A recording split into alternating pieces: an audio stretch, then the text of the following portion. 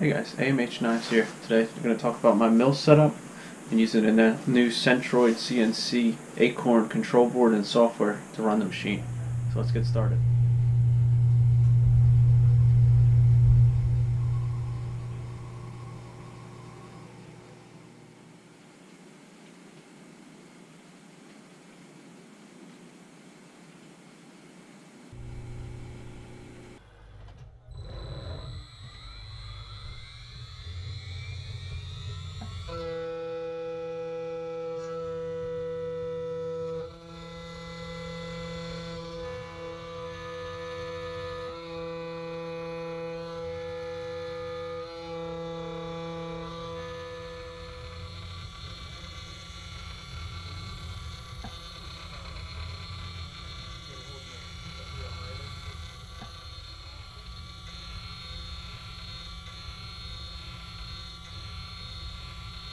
This is used to be an X2 mini mill, the uh, small benchtop size. Um, over the years, it's been upgraded and changed, and a few things have become majorly apparent that it's not the same. Um, it now runs um, two Y bases that have been cut, welded together, and they've been surface ground, so they're perfectly flat. Table is an aftermarket from Grizzly for a different benchtop. It's a 22 inch table by six and a quarter, a lot bigger. Um, and the movements on the machine have gotten a lot bigger. You go from like eight inches of movement for your X and uh, around like four and a half, I think it was for the Y. Uh, I go now. I run 16 inches on my X and 10 and a half on the Y, nine on the Z. Z-axis is a three horsepower water-cooled spindle. Um, just of your Chinese router, 8,000 to 24,000 RPM spindles. Um, it has ClearPath servos, all, all three axes. They're the um, NEMA 23s, the 6400 bit encoders, and they are the 620 inch ounce output power for them. Um, I also am running um, home shop CNC ball screws, C7s. Um, right now, I do have NSK C5s, which will eventually be upgraded into the machine, but that's what I had at the time. Um, besides that, it's a it's got a big Kurt.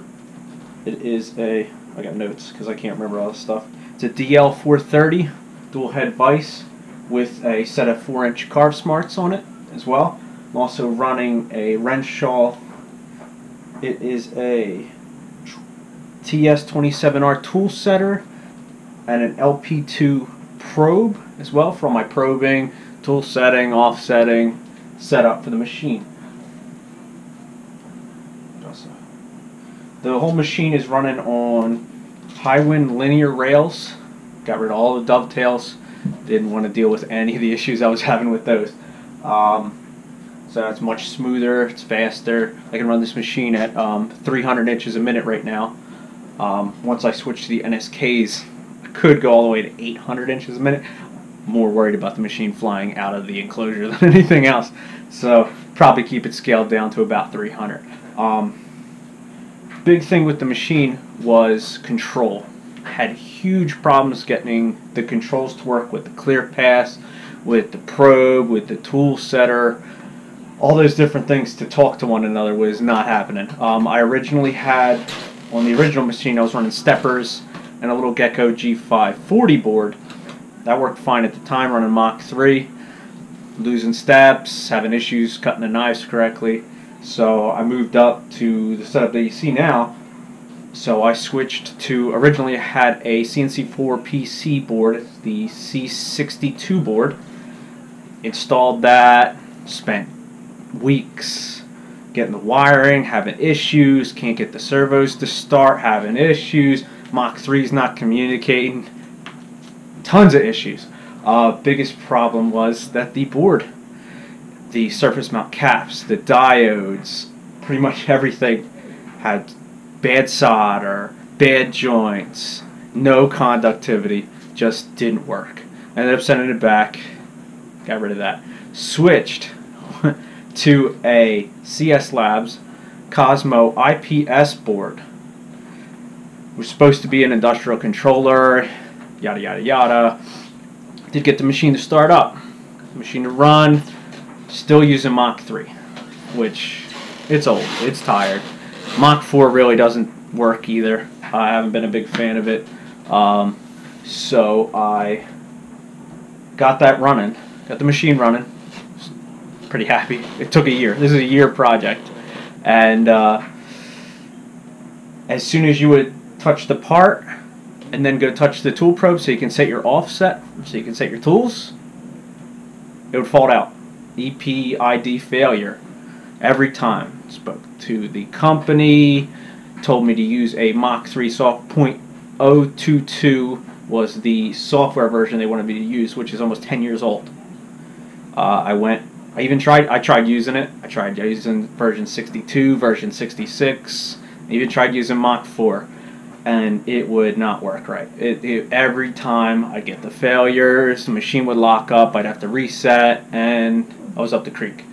So I was at my wit's end, and I had shot an email to a company called Centroid I knew they made big industrial controllers for you know the Haas's, um, Mori Seiki's, a bunch of different companies. You could you could retrofit a new controller to an older machine and keep it going rather than have to deal with you know you only got a certain very limited amount of megabytes that you can use for your G code and you can only run you know thousand lines or something crazy. It wasn't that low, but uh, pretty low. Um, and you could upgrade to their software and run as many lines as humanly possible. So I shot them an email just saying, hey, what is your big controller and can I put it on this little machine?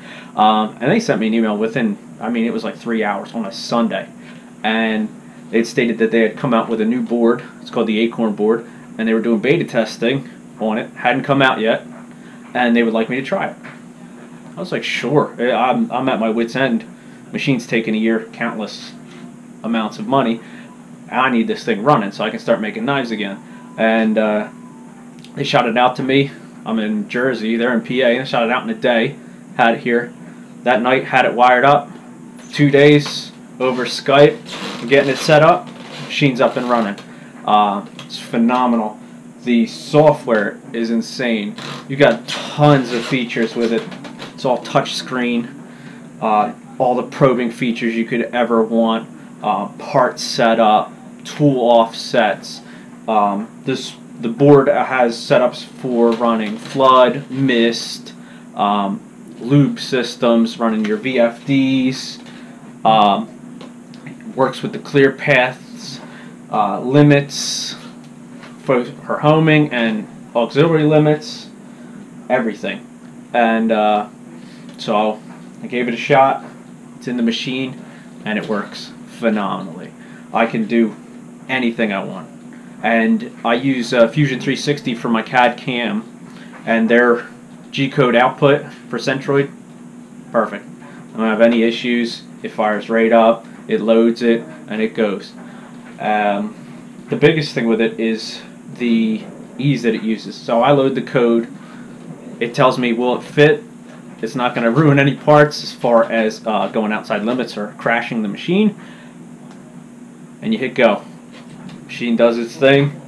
You set all your tool set offsets, set your tools. Every time my tool change goes over, touch the tool setter, and you're ready to rip.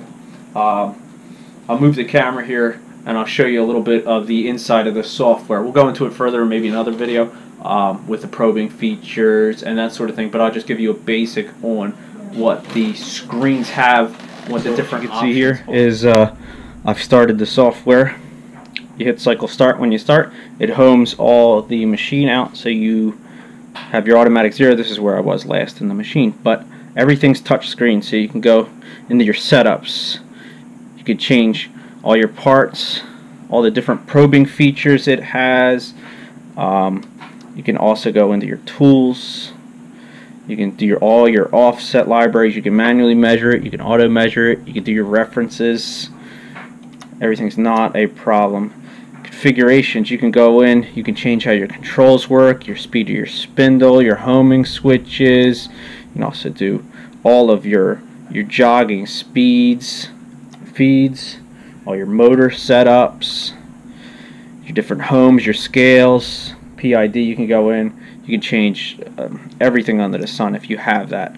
Um, you can go in and do your manual uh, MID lines run. They even have CAM. They have canned um, software features. I'm not going to go into that deep. Um, you also have uh, graphs that can show you in 2D and in 3D how it's going to cut your different parts, which is cutting out uh, little test blocks. Make sure the machine's correct. Um, you can even digitize.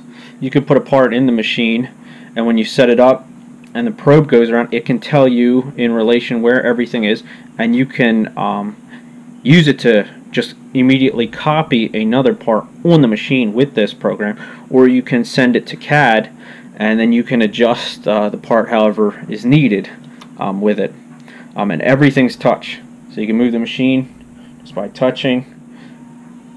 Move all your feeds, everything. You have your spindle. You can set up auxiliary buttons. Um, just basically it does everything you would need. There's no um, needing different little macros to do your probing or to do your part setup or uh, adjusting your cam because it doesn't match the post processor to run um, with this software. So basically they've made it um, the most user friendly software I've ever had. Tenfold better than Mach 3. You can even do uh, all your backlash comp, ball screw mapping, um, and get your machine just right on the money with this software. Um, so it's just tenfold better anything I've seen out there and works flawlessly. so here's my uh, electrical cabinet housing the Acorn board you see in the center.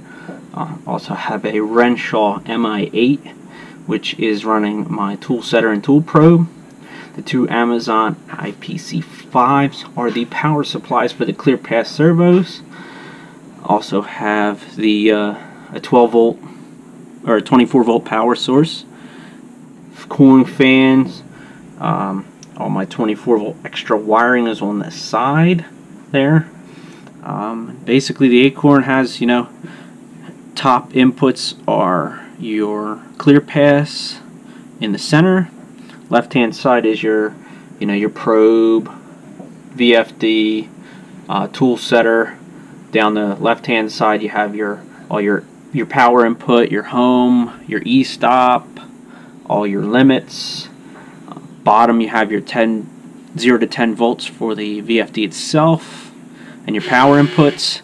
And then the uh, right hand side you have well I have VFD hooked up for you know your common forward, reverse. Um, you can also, that side has the relays for your coolant, for your flood, for your mist, for your uh, lubing system, and anything like that. And it all fits on that nice little board.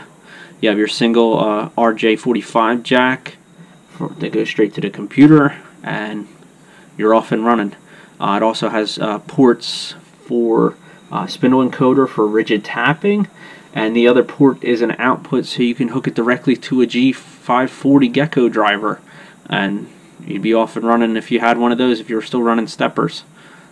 So it's just a little bit into my uh, electrical cabinet. This machine runs off of